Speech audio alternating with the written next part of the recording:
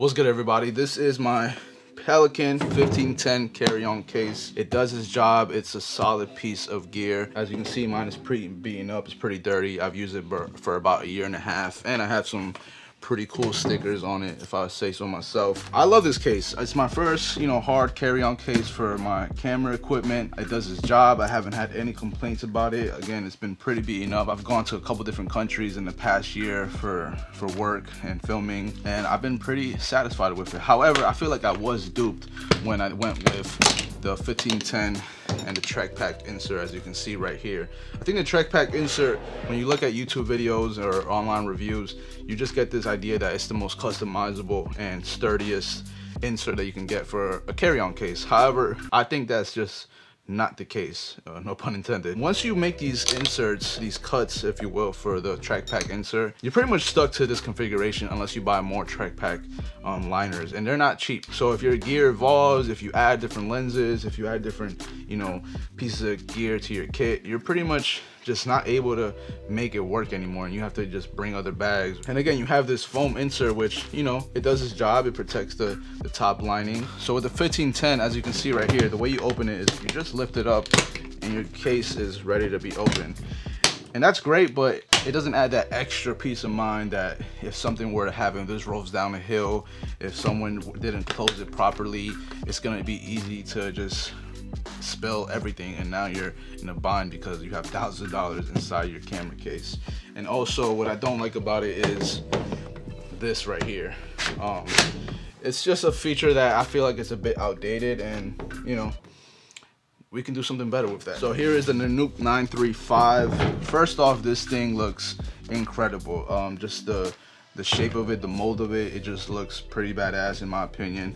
Um, it has a really really sturdy handle here that it doesn't flop around so it's not making noise if you have to move it from one side of the set to the other. Also for the handle it's a small feature but those little details matter.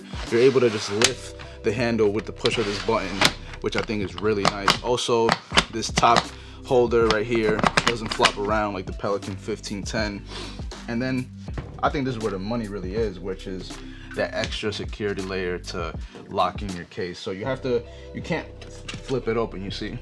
It's pretty pretty stuck. So you have to push down lift up and then do that. So push down lift up and then bring this whole thing up and then voila you're inside. Once you open it first thing you notice is the lid organizer. I think this is just an incredible feature that i wish i knew about with my pelican 1510 i ordered a third party one because the one that pelican sells i put up right here. It just looks like the cheapest thing they could have came up with to sell you for $40 but here you have an incredible lid organizer. This acts exactly like what I have in my Pelican 1510 case which is a think tank organizer bag. I'm able to fit cables I'm able to fit batteries maybe Allen keys different wrenches whatever kind of tool or accessory I need I'm able to visibly see immediately and know I don't have to worry and look around and have an extra little bag in my in my case. And then again you have this beautiful extra giant compartment which you can fit a laptop. So now I don't have to carry my laptop on my backpack. So if I want to monitor using my laptop if I want to dump footage immediately right away I can just do it on top of the case. Just pull my laptop out and boom. And the new MacBook Pros are a little bit heavier so that's gonna just take strain off of your back. And he, we're here to be physically fit and be able to do our job. We don't want to be adding more weight to our, our shoulders. So I think this is just worth the money having this lid organizer. So let me open this up I went with the lid organizer. Again, I don't think I need a TrekPak insert, and now I'm able to move around all these mesh um, dividers, which I think do just as great of a job of protecting my equipment because that's what you use in most backpacks and they do a good job. So having a TrekPak insert that's expensive and then just doesn't allow you to customize, I think it's not worth it in my opinion. So you can see I have my G Master 24 to 70. Um, it just fits perfectly right here or I could just, you know, throw it with one of these and make it sideways if I want strap it on and now it's safe and protected. I think this case is built just very very well. It's designed for uh, professionals. You can see the details that they've thought of that you know will work really well for our profession our industry. So i think the lid organizer is just a must-have um, if you have a carry-on case again you're gonna be able to put your laptop here you're gonna put all your cables, all your small accessories that we use all the time and make a big difference on set. Because if you forget a specific Allen key or you forget a core thread mounting plate or a, a top handle, those are the little things that really make a difference on set when you're building on your rig and you might not be able to accomplish the job that you set out to do just because of the small little accessories. So here you're gonna be able to just nicely organize them and have all this space just be dedicated to camera equipment. So yeah, I can just place my 24 to 70 right here. I have my Pelican um, memory card case that is always full of different memory cards. I can slide that right here if I want. If I open this uh, little nice lid organizer, I can use this specifically for batteries so that doesn't take up space in the case itself. I mean, this is already game changing. Boom. I know that this compartment has my batteries they're fully charged. When i go and swap a battery i know exactly where to go and i don't have to worry about like is this one charged? Do i have to put it in a different pocket so it doesn't you know um, confuse me? Just to give you a little bit of context of the gear that i'm to be fitting in this Nanuk 935 i film with a sony a7s iii which i'm filming with right now. That's my filmmaking kit. I have a Tilta Pro Kit cage on the camera, so it takes up a little bit extra space. I have a top handle, I have a side handle, main lens that I only ever bring is my 24 to 70. Um, I just have that documentary style where I'm running and gunning and this does every single thing that I need. If I ever need a prime lens or I just need a specific lens for a specific look, then I'll rent it or I'll throw on one of my vintage lenses. I can put a pot up in here. I have a big USB-C cable to charge or to plug into some type of power. Fits perfectly. So let's close this up, see how that looks. Woo! Not a single issue.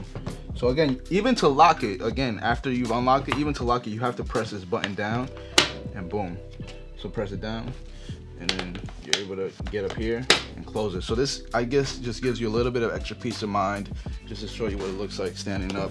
It's a really, really good looking case. So this is my new carry-on case, the new 935, and this is my Pelican 1510 that I've had for a year and a half and it's held up like a champ. Nothing has broken.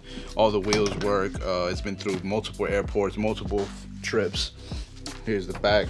Again, it has like this nice design that houses the the the retractable handle. So obviously uh, exterior aesthetics and design are not the most important feature when you're thinking of a carry-on case that's gonna protect your equipment. But again, the little details of design they did implement, I think make a big difference between the 1510 and the new 935. And basically, I'm not getting rid of my 1510. That's gonna be my daily carry-on case for local gigs that I'm doing where I'm just traveling, putting it in my car, and I'm going to commercial shoots or small mini doc shoots that, again, I'm not flying with. That way, this preserves the lifespan of this Nanuk 935. I'm gonna be using this Nanuk 935 specifically just for traveling. So I plan on doing a lot of traveling next year, doing my own personal shoots that I'm investing in, short films, travel style, cinematic films. And again, I just want something that fits everything, looks really nice again, because I am gonna be traveling. You never know who might just notice your case. I'm gonna put stickers all over it. So there you go, the new 935 versus the 1510. I hope this video was valuable to you and showed you just the differences of the 1510 compared to the new 935. If you're on the market for your first or a new carry-on case for your camera equipment or just tools in general, I highly recommend the new 935. Those added features for the lock system are very, very uh, important.